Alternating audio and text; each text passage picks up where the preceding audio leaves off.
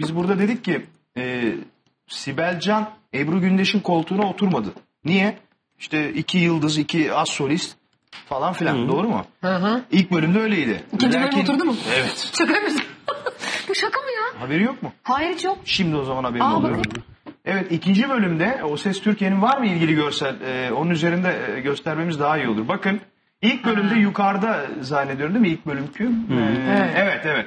İlk bölüm üstte gördüğünüz e, Sibel Can e, kimin koltuğuydu o oturduğu ilk bölümde? E, Murat'ın Ebru mı? Gündeş, ha, o Murat'ın koltuğuydu. Ama Ebru Gündeş'in koltuğuna ikinci bölümde geçti. Altta görüyorsunuz değerli izleyenler. Şimdi o dün izlediğimiz Bir tam VTR'de ekran yine görelim. Var mı açıklayacağım başka bir şey? Konuşalım. Yok sen anlat. Ee, dün izlediğimiz VTR'de şöyle bir şey söylüyordu. Ee, Acun Ilıcalı. Ya e, karar veririz. İsterseniz otursunuz. isterseniz kızlar ye- yer değiştirir. isterseniz başka şeyler olur. Yani stabil bir e, şeyiniz yok demişti. E, aslında sinyali vermişti. Ben orada değişiklik olacağını anladım ama gerçekten ikinci bölümde Ebru'nun koltuğuna geçeceğini düşünmemiştim. Özür diliyorum. Ebru'nun koltuğu değil orası. Ebru'nun için daha önce oturduğu koltuk diyeceğim. Ebru'nun koltuğu değil çünkü öyle bir koltuk yok yani. Dediğim gibi O Ses Türkiye'nin prodüksiyonuna ait bir koltuk yani. Ama şu, çok enteresan. Sert bir geçiş olmuş yani. Ben Evet. şöyle düşünüyorum. Ee, yani isimlere ve sıfatlara takılmamak gerektiğini düşünüyorum. Çünkü dediği gibi Ebru'nun koltuğu e, değil. Ondan önce o koltukta Murat Boz ilk oturmuştu. Hülya Avşar da yanındaydı. O zaman Sibel Can şimdi hem Hülya Avşar'ın hem Murat Boz'un koltuğuna mı Hem oturmuş oluyor? Hem de Ebru'nun. Yani öyle bir şey. Onun için isimlere ve sıfatlara takılmamak gerekiyor.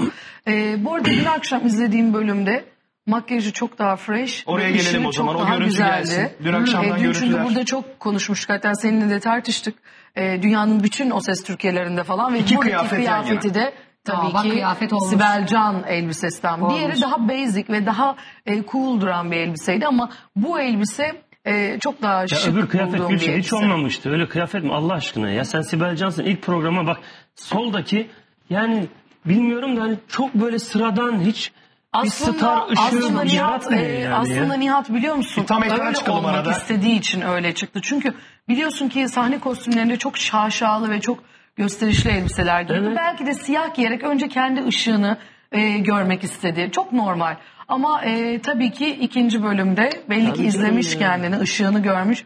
Saç, makyaj, kostüm yani Sibel Hanım her zamanki zarafetiyle çok şık. Peki şey videosu var. mı Ali? Videosu da gelsin Ben ilk ikinci bölümdeki bölüme siz ait. o kadar eleştirdiniz ama ben ilk bölümdeki elbisesini de çok beğendim biliyor musunuz? Yani e, çok daha sade ve çok e, zarif buluyorum. Bilmiyorum hani beğenmediniz belki ama ben, Ben burada çok beğendim. eleştirmiştim ilk bölümü. tabii ki. Ben de Ee, hiç hiç, Ben de hiç alakası Ama ikincisi, ikinci- ikincisi ikincisi daha çok- canlı değil mi? Bak ben sana söyleyeyim. İkincisi bir az solist havası var. Var. Peki Ama Nihat bitirdi. söyle söyle.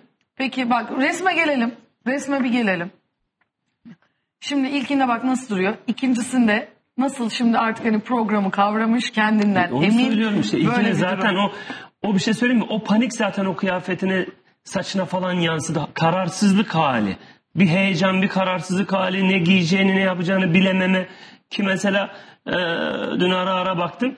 Program performansında da hala bir uyum süreci yaşıyor. Ama o, yaşa, o yaşanır Nihat. olur Onu- abi söylüyorum yani o bütüne yansımış o heyecan diyorum ben de. Ha, tabii, tabii ki atacaktır o yılların sahnede starı Sibel Can. Ondan sonra ama e, Sibel Hanım'a tekrar şöyle bir uyarımız olsun. Tekrar ediyoruz. Program genç kardeşlerimizin daha yoğunluklu izlediği bir program.